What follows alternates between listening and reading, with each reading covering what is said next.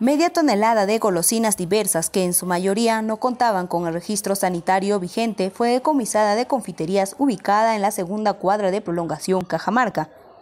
Durante un operativo multisectorial que ejecutó la Policía Nacional del Perú, la Fiscalía de Prevención del Delito, la Unidad de Bromatología de Huancayo y la Red de Salud Valle del Mantaro. Al realizar la verificación de los registros sanitarios en estas confiterías, donde hay bastante comercialización de productos eh, de consumo humano, se ha podido detectar que están expendiendo unas bebidas denominadas full punch de 500 mililitros, pero al revisar los registros sanitarios y hacer la digamos, la revisión con la página web de Vigesa, que es el ente rector, se ha podido detectar que ellos no tienen autorización para el expendio por 500 mililitros, en presentación de 500 mililitros, más sí tienen para otro tipo de presentación. Y esto en este caso están sorprendiendo al público vendiendo pues, productos sin autorización correspondiente, que no les corresponde este tipo de presentación. Es por eso que eh, en presencia de la Fiscalía, de la Direza y Seguridad de Estado se está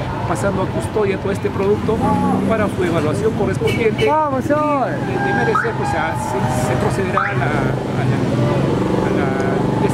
para el salvaguarda durante la intervención en la confitería ubicada en prolongación Cajamarca número 263, se detectó dulces como chocobuns y arifrux, adusados a juguetes alusivos a la fiesta de Halloween que se aproxima consignando el registro sanitario suspendido, decomisando así cerca de 400 kilos de estas golosinas. Las sanciones en anteriores puestos que van del 30% de la UIT, está incautando también productos vencidos para que ya no salgan al mercado. Asimismo, en la confitería de prolongación Cajamarca, número 211, 219 y 247, se decomisaron un total de 324 unidades de frugos de 500 mililitros porque no contaban con la autorización de la Dirección General de Salud Digesa.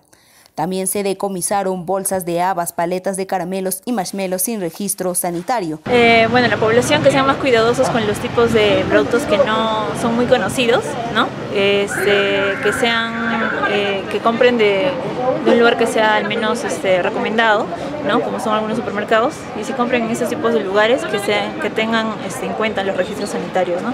Es muy fácil de ver el registro sanitario, entonces este, ¿no? Eh, pueden verlo por, la página de Google, La Municipalidad Provincial de Huancayo impuso la correspondiente multa a los establecimientos que contravinieron a las normas sanitarias.